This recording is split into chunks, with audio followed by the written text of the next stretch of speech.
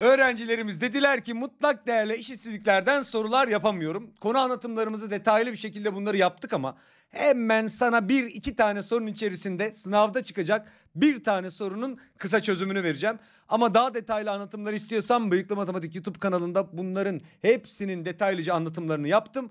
Hemen abone olup oradan konu anlatımları da bakabilirsin. Ama mutlak değerli eşitsizliklerden gelecek gelecek sorunun biraz önce bir tane video attım. Hemen bir tane daha video çektim ki yeni tanıştığımız öğrencilerimiz de puanları cukka cukka cebe indirsinler.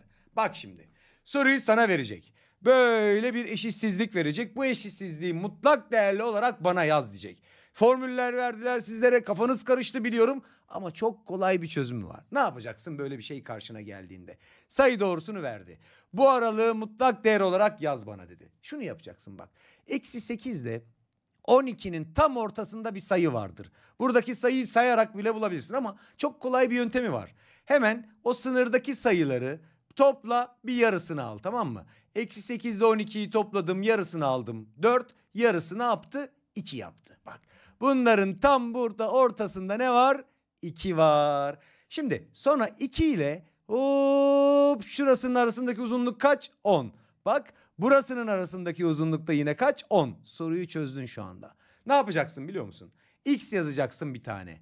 Bu bulduğun tam ortadaki sayıyı eksi koyup buraya yazacaksın bak. Her zaman aralarına eksi koyacaksın. Ortadaki bulduğum sayı x eksi ortadaki bulduğum sayı.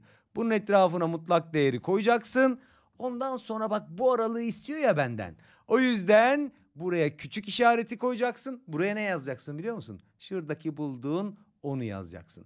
Hocam buraya eşittir koyacağım mı koymayacağım mı şuna bakacaksın bak. Bunun içi dolu ya bunun da içi dolu. O zaman içi doluysa buraya ne koyacaksın? Eşitlik.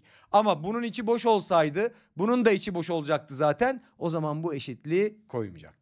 Hadi gel tekrar bir daha üstünden geçiyorum. Hocam bir daha anlatın dedi birisi oradan.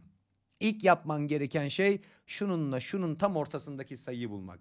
Eksi 8 ile 12'yi topluyorum. Yarısını alarak buluyorum bunu. Eksi 8 ile 12'yi topladım 4. Yarısını aldım 2. Hemen buradaki sayıyı buldum 2. Hemen yazmaya başla. X de buradaki sayı 2 aralarına eksi koyacaksın yazacaksın. Etrafına mutlak değerini koydun.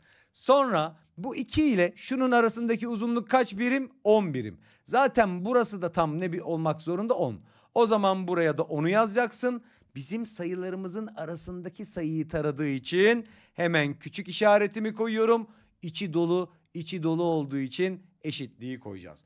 He hocam şu tarafını taramasaydı da bu taraflarını tarasaydı bak o da olabilir. Eğer bu tarafını ve bu tarafını tarasaydı bu sefer yine aynı şeyi yapacaktım.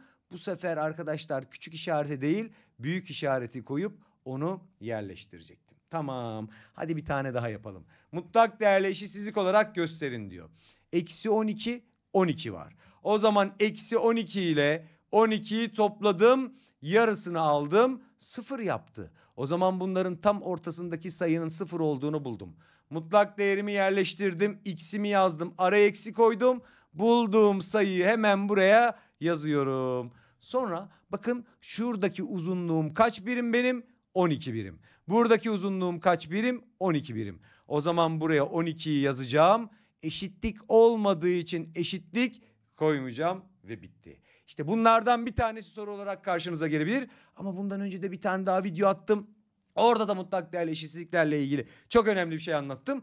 Daha bütün konuları birlikte görmek istiyorsan Bıyıklı Matematik YouTube kanalında bütün hepsini detaylıca anlattım. Oradan da bakabilirsin. Hadi sınavında başarılar.